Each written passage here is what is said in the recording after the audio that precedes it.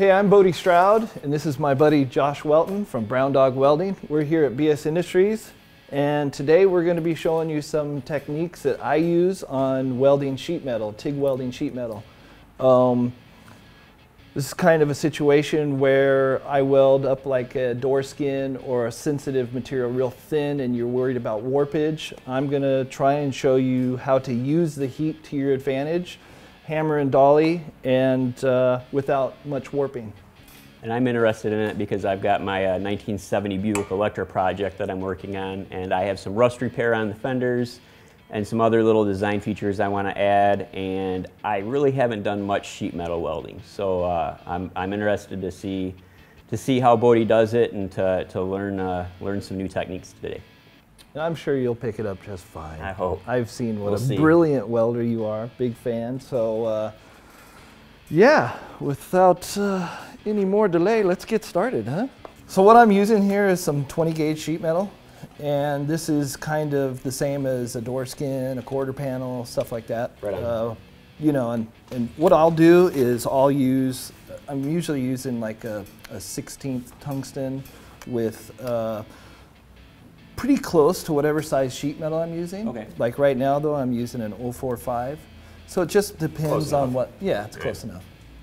It depends on what gaps you got and, you know, and then I'll, I'll also set my machine at whatever amp, whatever size metal. If I'm using 035 sheet metal, I'll set it at 035. Okay. Just kind of a standard. At 35 amps. At 35 amps, yeah. Right on. So, Now, do you when when you do stuff uh, when you're not on a table where you have the nice heat sink? Do you do you use backing when you're when you're welding like on a door panel that's that's kind of already on a car? Or, Well, it's kind of just freehand. It's Right whatever is comfortable at that time or whatever the situation is. You know what I mean? Yeah. Usually a door skin, if Yeah, it needs a lot of repair, I'll drill out the spot welds. I'll pull the, pull the skin Oh, okay. off and I'll set it here on the table and I'll, I'll weld one. up. Awesome. So, just depends on the damage, where it's at, and how to get to it. gotcha. Yeah. So basically, in a situation like this, I'll just find a, a starting point and I'll tack the two pieces of metal together. You know, I'll probably do like three small tacks. Okay. And what I do is I watch how the heat is affecting the metal because it you can't. I don't think there's anybody out there that can predict which No. way it's going to go. No, you've got to be able to kind of have a have a feel for the metal. You do. You got to have a feel for the metal, and I try to use the heat to my advantage. Right. And that is the best tip I can give people is using the heat to your advantage. Uh, I've seen guys do like an inch long bead and then they, they'll use their, their air blower and they call it speed cooling. Right. All you're doing is speed warping is what I Yeah, call exactly. it. I've never done it. I, I'm against it. Uh, I just try to use it at, as it, in the cooling process to my advantage. So basically, you, you do a little bead and then you hammer it out. That's what I do. Right on. And it takes, it's time consuming, but you're gonna have less warpage. Uh, you know, Which means straighter metal, less straighter bondo. metal, you know, because you're gonna spend more time in the long run. So this does take a lot of patience. You know, it takes a lot of trial and error to get here to where you start learning how the metal is gonna work and Okay. how to use it.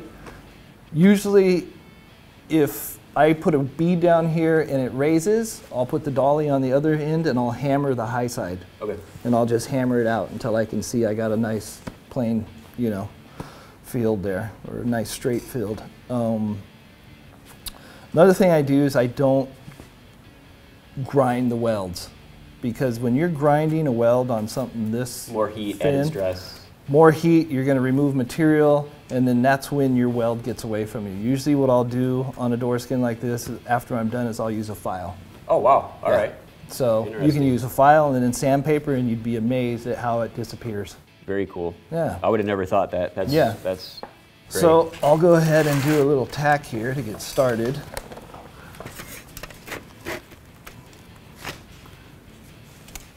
Let's see, my rod's super long.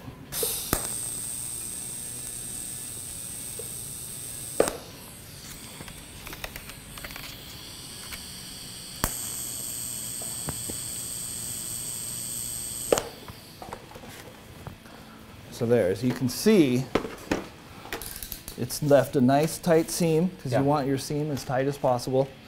and you can see that it really didn't move much. I can see it did in the middle a little bit. So basically what I'll do is I'll just grab my hammer here and I'll kind of just, and see how it kind of flattens Yeah, the weld? definitely.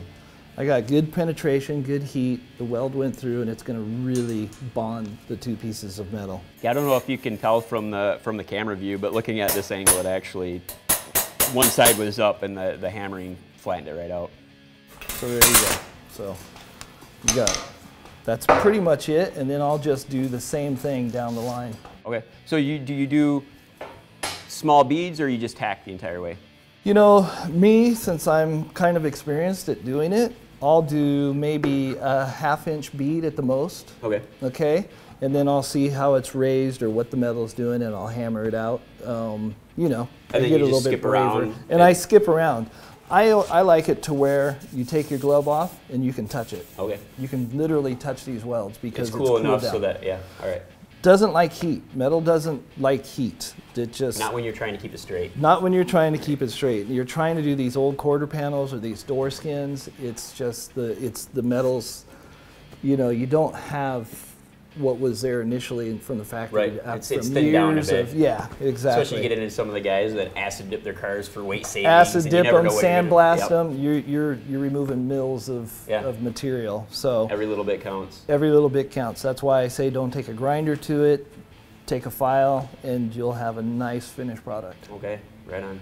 As you're doing it, you got to watch and see. You want to keep your nice seam. You know what Yeah. I mean? So you can see this It'll is end up raising coming a together, little bit. going apart. and you want Yeah, exactly. So you just want to hold it down. And right now, I can hold this down Oh, okay. without any filler rod. I can just tack these two Right on. pieces. You know, I can. Yeah, you got to tighten up gap. Yeah. So I'm just gonna do that real quick. Keep that in place. Do you hear it move? Yep. You can see the whole. Yep. So that's when you know that, yep, you're starting to wobble. move. So I can see that I need to, I'm gonna hammer it on both sides.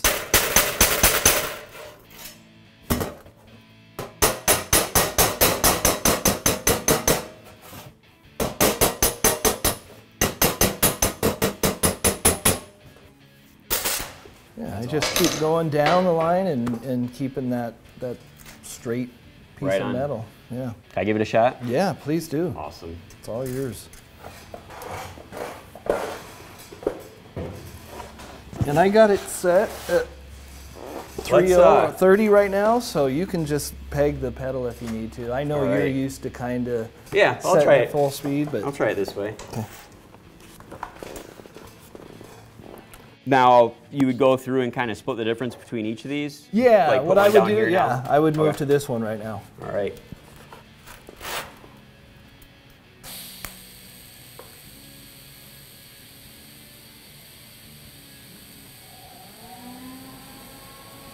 That's probably good.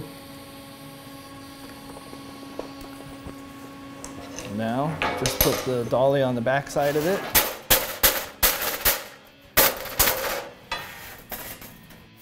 Pretty good. Yeah, there you go. Right on. And then you just kind of keep it, going yeah. through and. Just keep going through it. Just keep stitching it here and there. Awesome. Yeah, that's more. perfect. Poke your eyes out with the rod. I'm, I can see it. Ooh, I can feel it moving. Yeah. That's when you know you want to kind of stop. When I Right. start feeling the metal, metal moving, I'll stop and then I'll do the hammer dolly process. Do you hammer just around the area, or do you kind of? Yeah. I'll hammer around the area, you know, just but I'll start out on the, the weld, you know. And that's why I prefer TIG over MIG. You know, I spent Yeah. many years doing MIG on sheet metal and bzz, bzz, bzz. Um, you have so it- much more was- control of the heat and uh, how, how much you put into it. You do. You have more material-wise, too. control, and you don't have high buildup on your weld. Right. You know oh yeah, I it's mean? pretty and flat. You, c- and then you, can flatten it with the hammer. You see when you're hammering it, it's basically flatten it. So then when you want to smooth this weld out, it's literally sandpaper, awesome. and it'll knock it down or a file. Very cool. And another thing we can do, we're using a Syncrowave 210, which has pulse on it. You can go up to 50, 50 pulses per second. So you can actually, I might actually try that, turn it up to 50, and uh, what you're doing is uh, you're a- still able to, to lay the metal in there, but you're putting uh, less overall heat into Yep. the material. Yep. So, that I'm gonna, works as well too. I'm Gives it a little the- bit of a cooling period. Yeah, yeah, Yeah. I'm going to set the machine up and try that. Cool. Go for it. I'll wait right here.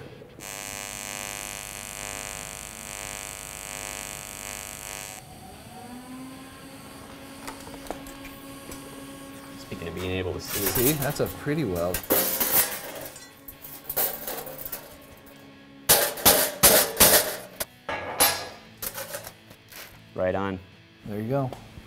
You just keep the whole same process going, and by the time you're done, you'll have a nice flat piece that's that's really workable. And Not too much material, so you, like you said, you just file it down by hand. that's it, you know. And you got a really nice seam that you probably won't even see by the time you're done finishing it. Very cool. Right on. Okay, today uh, while we were doing the sheet metal, Bodie was showing me how to how to do some sheet metal repair, sheet metal welding. We are using the Miller's uh, Syncrowave 210. One of the cool things about this machine is that you can plug it into 120 or 240. So uh, you know, you big shop like this, uh, there's projects going on everywhere. You don't have to worry about having a 240 plug. Uh, if you want, you just switch out the end, you just twist it off and put in the 120 plug, and you're good to go. Which is amazing to me because it's such a big machine. Yeah, you can. Looks you like can. it. It, it's even though it looks like a fairly large machine. Uh, there's a nice cabinet here for consumable storage. Uh, it only weighs about 130 pounds, so it's Super way light. yeah way lighter than the old transformer-based uh, Syncrowaves or the other Syncrowaves that are transformer-based. Uh, this one's inverter-based, which also means you can plug it into 120 or 240, which is awesome in a shop like this where there's projects going on everywhere and it's a fairly fairly large building. So And you may be limited in plug space as well. Exactly, exactly. So uh, whether it's even even if you have a smaller shop, you don't necessarily have to worry about having 240 access. Uh, you can you can plug it into 120 and you're and you're good to go. Um, it's a really easy to use machine. Um, you've got basically four settings. Um, you can plug a spool gun into it if you want to weld aluminum. Um, AC for TIG welding aluminum, DC for, for TIG welding stainless and mild and chromoly, and then uh, you can stick weld it, stick weld with it as well. Um, pretty pretty foolproof. Uh, you just set it to where you want to go and you're and you're good to go. You know what I like most about it is the chart. You Yeah. flip up the door, and the chart basically tells you what amperage to have it at Yep. per what material thickness of material you're using. And even if you just want to use that for a starting point, you can always you can always kind of play off that, and you need a little bit more, a little bit less. That's but what it I gives use you, it for. I Yeah, use it for a starting point because it's a great starting point. And then you can, you know, Yeah, like, adjust like we were as saying necessary. earlier. Yeah, exactly. And uh, it also this has uh, the ability to to use pulse. So when Bodie was doing his his uh, his welds, he had the pulse off all the way. So it goes from uh, zero to 50 uh, pulses per second, which is the amount of times that it uh, that it cycles through per second. Um, the nice thing about turning the pulse on is I like going up as high as the machine will go to 50 because it doesn't give you a real noticeable uh, movement or, or large jump with uh, with the pulse. It's it's actually really smooth, like you'd be just just welding a normal bead with with no pulse. Uh, but it still gives you the uh, the the ability to to weld a nice bead with putting less heat into it, um, which is great for sheet metal, great for stainless. Um, yeah, you can even use it on thinner aluminum, stuff like that. Uh, the other thing, uh, you know, obviously amp, amp settings, it goes up to 210. Um, some people like to set it, like Bodie likes to set it right where he's going to max out the pedal. Uh, so you can just put the pedal down and get your pedal started, and then you can back off as you put more heat into it. Yeah, that's the reason I, I, I back off. It's easier for me to back off and hold it than it is Right on. to hold it where I need to. So Right. I guess Yeah. I got a lazy My- foot. well, you know, it's, it's it's everyone's preference. Personally, I like to max out the machine and then and then uh, control the amps with the pedal because it gives you a finer amount of control uh, for what you're doing. But it's you know one of those things, potato potato. Um, and then this has also the SD card uh, expandable uh, memory, so if new features come on in the future, you can just pop them in, uh, which is something I have on uh, my Dynasty 280, and uh, I was able to add the uh, the uh, separate uh, electrode, negative electrode, positive controls for aluminum, which is really nice to have. That's what amazes me is how far it's come. Yeah, yeah, the technology in the last few years with uh, with welding, and They're it's making it easier and easier, and um, easier, and then it's it's also nicer because if you do like all I do is weld. It's all I do. Uh, so I I spend a lot of times with these machines, and it also gives you the ability to fine tune for specific joints, specific materials, uh, things that you know you could do in the past, but it just it makes it it makes it uh, easier nowadays. What makes it easy for me is I don't always weld Right. every day, so I can go sometimes two months without welding, Yep. but then all of a sudden I need to turn it on, and it's easy. and you don't have an hour to. to, set up a machine. You can just look at it and be like, all right, this is what I'm Exactly. doing. These are the amps. It's it's easier to retain, it's easier to come back to, and it's easier to pick it all up. Right again. on. Very cool.